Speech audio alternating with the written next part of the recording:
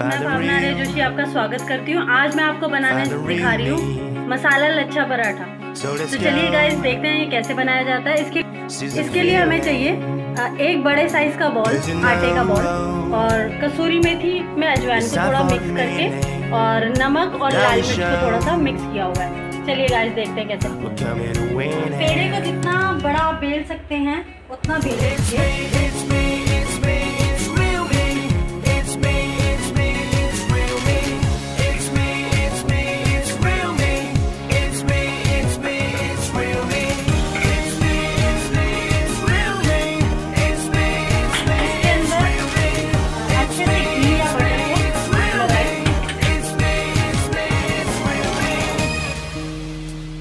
थोड़ा सा नमक और लाल मिर्च का पाउडर डालें। थोड़ा सा सूखा आटा भी डालें। इससे थोड़ा क्रिस्पी बनेगा पराठा और इसको फ़ैन फोल्डिंग करें।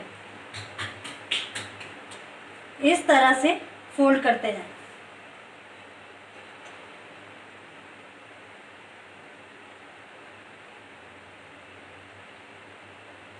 इससे गाइस बहुत ही सुंदर लेयर्स आएँगी प्रॉन्टी में।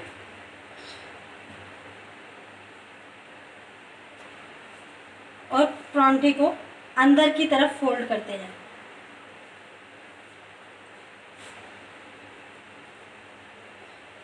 और इसको नीचे की तरफ़ फोल्ड कर दें और इसके ऊपर कसूरी मेथी और अजवाइन लगाएँ।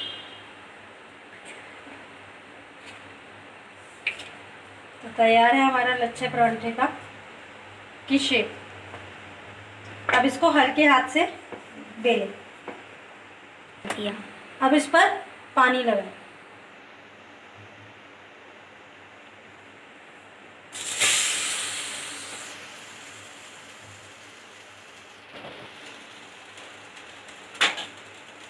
पानी लगा होगा कि ये तवे पे अच्छी तरह चिपक जाएगा। अब इसको दो मिनट ऐसे ही रहने दें।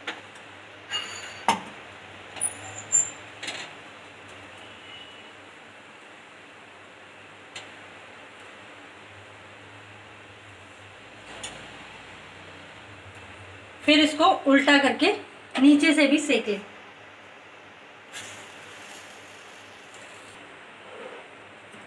देखिए गाइस हमारा लच्छा पराठा, तंदूरी लच्छा पराठा तैयार हो चुका है। इस पर घी और बटर लगाएँ और इसको हल्के हाथ से अंदर की तरफ़ ऐसे कर दें।